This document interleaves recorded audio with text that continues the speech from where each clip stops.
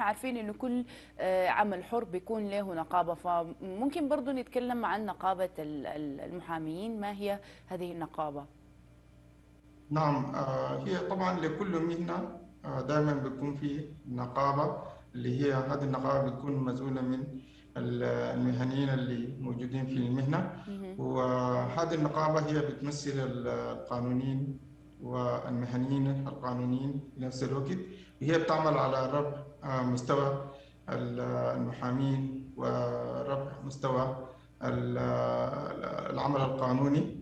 وفي نفس الوقت هي بتعمل على آه، تسجيل أي شخص آه، مثلا أو أي محامي أو أي شخص اجتاز مهنة القانون هم يحاولوا إنه يساعدوه في تسجيل ال- الرخصة أو في استخراج الرخصة.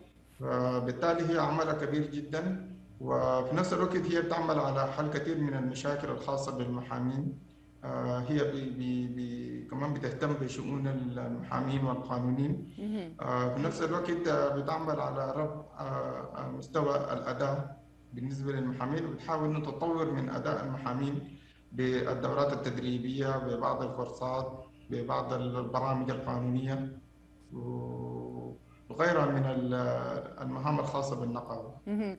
تعتبر البيت الكبير أو ال- الدرع الواقي للمحاميين باختصار نعم هي تعتبر تعتبر ال- البيت ال- ال- اللي يحوي كل المحامين والقانونيين في البلد المعني. بالتالي هي لازم تعمل على حل وتطوير آه، حل المشاكل وتطوير الأنظمة القانونية الخاصة بال- بالمحاماة أو القوانين الخاصة. بالمحاماة هي تعمل تعمل تعمل على تطوير هذه الأنظمة وتعمل على حل مشاكل المحامين في كل دولة يعني.